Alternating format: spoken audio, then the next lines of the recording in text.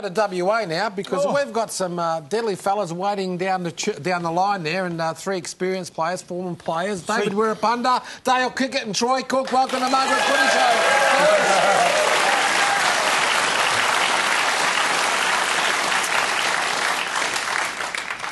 Where how, how you going there? Yeah, good brother. It's good. Uh, I've got to catch up with you. Yeah, I know. Well, I caught up at the Lakers. I've been waiting for your call, bros. Yeah, we got no re- we got no reception over in WA, brother. Now, David, just tell us about this derby and what it means to the WA public over there because they're pretty hotly contested, these two teams, aren't they? yeah, it is. I mean, I got a, I got a taste of it a couple of years ago when I first came over, and, and I remember my first derby how it just kind of divided all of Perth, and um, I think everyone just loves their footy over here, and that particular game is so important for both teams, in particular for West Coast and Fremantle now.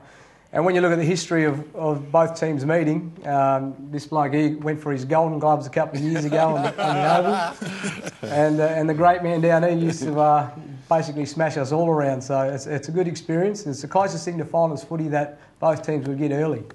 Cookie, uh, Ronnie here, mate. Good to see you. You, you can respond, mate. I've got a bit of delay over here, mate, so I'm just sort of waiting on you. That's all right, Cookie. You guys are a bit too far over Western Australia. But uh, you played in two uh, derbies over there. The first one you got pumped by 100, and then the second one by one point. Do the really the derbies over there? Do they really mean much to uh, the, the sides over there? Do they get a big build up uh, over there? And uh, you guys are really excited about it. Don't seem like it. The, players will play it down a little bit, you know, uh, you know, when they roll out in front of the media. But now that we've sort of stepped away from the game, you know, it is, it is a big game for uh, for both sides, especially the way the season's panned out at the moment. Uh, you know, the Eagles are probably uh, you know found a bit of form uh, over the last couple of years, or from last couple of years, and they're probably uh, you know you know ready to take out take over the Dockers. So it's um, and the Dockers need a rebound from last week, and they had a bad loss against Richmond. So you know, I think it's going to be a, a close encounter. Kickity, how you going, brother? It's Gilly here. How you going, bro. Good, good. I love you, I love you. Uh, look, back in 1995, you played in the first derby.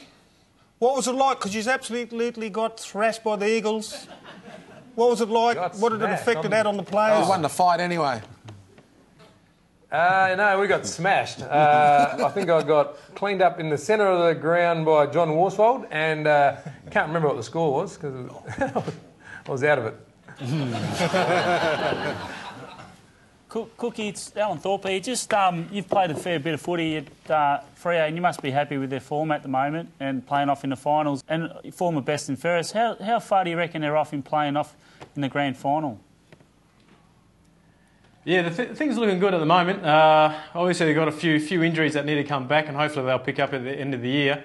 Uh, but they, you know, they've, got, they've recruited some young boys over the last couple last couple of years, and uh, you know, they're starting to come along. Uh, the senior players are playing well, like Pav, uh, Big Spider, Aaron Sandilands, and, and David Mundy's just now going strength to strength. So uh, you know, the window is probably you know, you know, a couple of years now. So they've got to make the most of it before uh, the big Pav gets uh, gets a bit too long in the tooth. So hoping for big things in the next three years for the Dockers. Uh, Dave, it's Peter Daicos. Um, just, just in regard to the Eagles, they've uh, must please you. They've shown some great improvement. Um, they're sitting tenth at the moment. Uh, it looms as a really important game for, for them to stay in touch with uh, possibly finals football at the end of the year.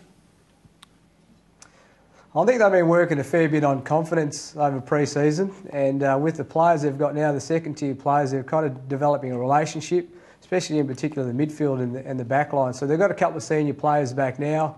Uh, Daniel Kerr starting to get a bit of the footy, uh, and when he gets the, gets the footy, it's really attractive for the whole midfield.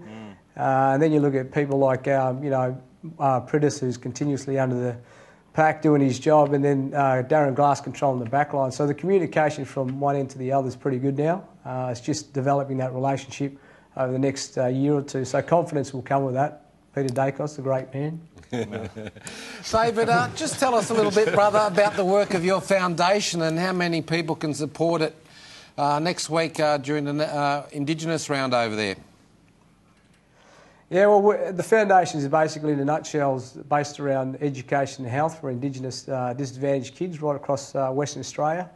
Uh, we now deliver not only in Western Australia but in Canberra, uh, New South, and Victoria now, and we deliver that through Worawa College, which is my old school, um, which is something that's very close to me at home. But now we're in the space of um, apprenticeships as well. So we've got the, the two uh, the two boys next to me doing their job and pulling their weight and making things happen. But uh, we've got a big fundraiser at that at that game, and uh, the things that we got uh, with BHP and West Coast, uh, we've got TW Sherrins that we're selling at the Oval, which is 20 bucks, and we've got uh, Cookie the the blue hats over there. So um, Jeez, that's blowing I the suppose budget. with all the yeah, well, hey, Hey, we- we're we're a- after a budget. Where don't it's about that. Gilly, it's Gilly. Ronnie wants to know if he can borrow hundred dollars out of the foundation. Make sure they're in He 20s. already owes me that.